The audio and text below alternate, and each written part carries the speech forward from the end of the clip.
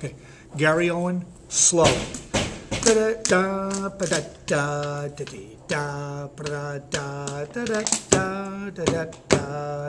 One, two,